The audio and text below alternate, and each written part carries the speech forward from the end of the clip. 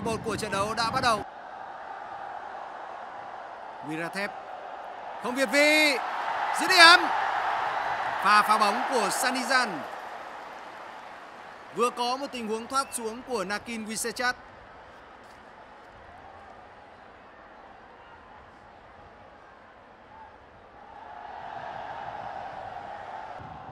Trong trận đấu gặp các thủ U23 Lào thì Jaifun đã có hai tình huống ra vào không hợp lý ở những quả treo bóng bổng của các thủ Lào. Khá nguy hiểm.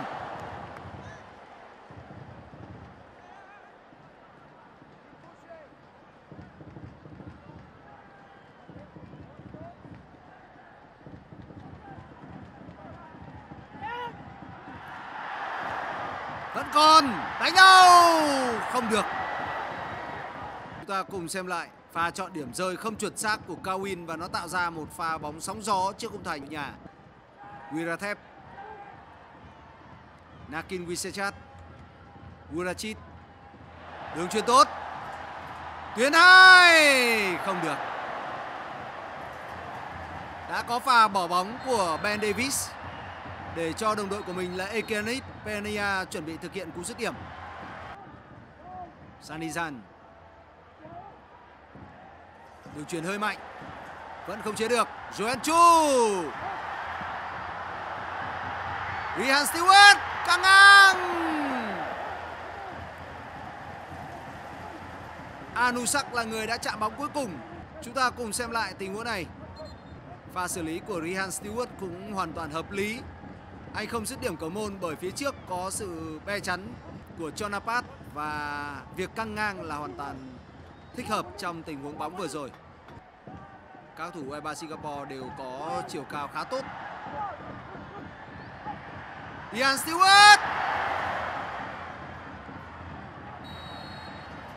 Trọng tài thổi phạt Ian Stewart. Một tình huống đẩy người từ phía sau.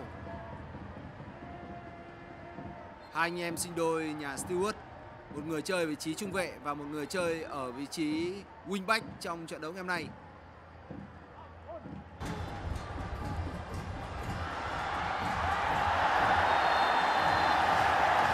Vậy là sẽ có quả penalty cho các thủ U23 Thái Lan. Đúng ở những phút cuối của hiệp 1 trận đấu này thì U23 Thái Lan bất ngờ tăng tốc và có hàng loạt những pha đưa bóng vào trong vùng 16 50. Người sút penalty cho U23 Thái Lan là Ben Davis, cầu thủ đang thi đấu cho câu lạc bộ Oxford United.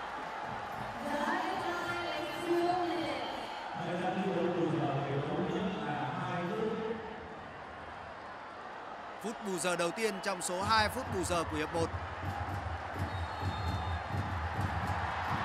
1-0 cho U23 Thái Lan. Niềm vui của các cổ động viên trong nhóm Ultra Thái Lan. Rất đáng tiếc cho các thủ U23 Singapore. Họ đã không duy trì được sự tập trung cần thiết trong khoảng 5 phút cuối của hiệp 1 này, U23 Thái Lan đã bất ngờ tăng tốc. Và đúng vào thời điểm khi mà các cầu thủ U23 Singapore đang có dấu hiệu chờ tiếng còi kết thúc hiệp 1 của trận đấu thì các thủ Thái Lan đã liên tục tăng tốc. Và khi mà tâm lý đã có sự trùng xuống sẽ rất khó để có thể lấy lại được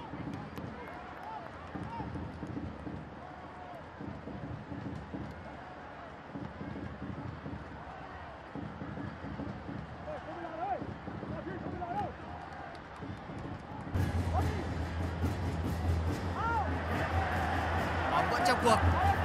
Cho Napat trả về tiến hai Benefit ngược về tiến hai nữa, mở sang phải. Khá bất ngờ của Vinatep đã có tình huống phản lưới nhà và tỷ số được nâng lên thành hai không cho cao thủ U23 Thái Lan. Nụ cười cũng đã xuất hiện trên khuôn mặt của các cầu thủ U23 Thái Lan.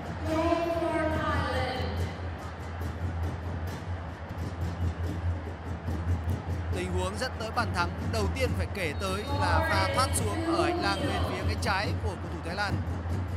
Một pha bóng mà hàng phòng ngự của các thủ Singapore đã chơi có phần chủ quan, không có một pha vào bóng dứt khoát.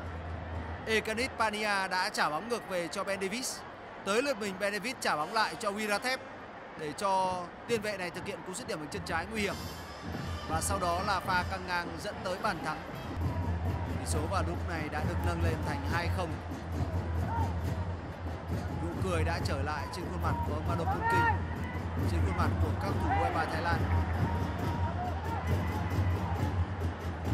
Đó càng cho thấy sự chắc chắn về việc U23 Thái Lan có thể giành chiến thắng trong trận đấu hôm nay.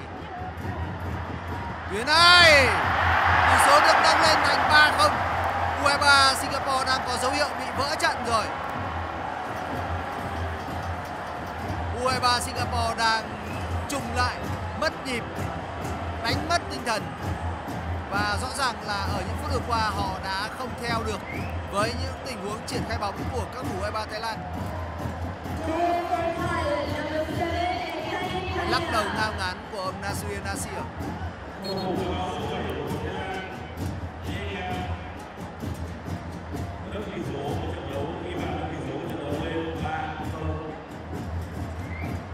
Ta cùng xem lại ở tình huống nhả bóng của Ekanik Pania anh trả bóng về cho đồng đội và sau đó di chuyển đó là một pha bóng mà người ta rất dễ liên tưởng tới là một tình huống sụp bóng để cho bóng bổng xuống phía sau lưng hàng phòng ngự đang dàn hàng ngang của các thủ U23 Singapore. Tuy nhiên không hề có một phản ứng nào của các thủ phòng ngự bên phía U23 Singapore và sau đó Urachit là người đã có pha nhả bóng lại, đập chân của Gustafsson và kết thúc bằng dứt điểm ở cự ly cận thành của một đồng đội. Dứt điểm, tỷ số được tăng lên thành 4-0 rồi. Có vẻ như lại là Ekanit Pania. Đúng là như vậy. Ngày hôm nay không còn nghi ngờ gì nữa, Ekanit Pania chính là cầu thủ xuất sắc nhất trận đấu. Ba bàn thắng ở trong hiệp 2 của trận đấu này đều có dấu giày của Ekanit.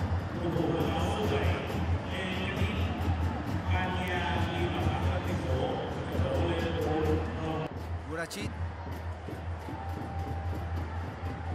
Davis. Rất hay, căng ngang. Kurovic vừa rồi đã không căng ngang khi mà Ekanit Pania ở một tư thế chính diện với khung thành và chống trải hơn. Rất có thể là đã có một quả hat trick dành cho Ekanit Pania. Và triển khai bóng rất hợp lý. Tirasak căng ngang. 5-0 cho các thủ U23 Thái Lan. Koravic là người đã nâng tỷ số lên thành 5-0. Ban tổ chức vừa rồi đã thông báo sai số áo, không phải là thủ mang áo số 18 mà thay vào đó là Korovic, thủ mang áo số 8 được tung vào sân ở đầu ở trong hiệp 2 để thay cho Gustafsson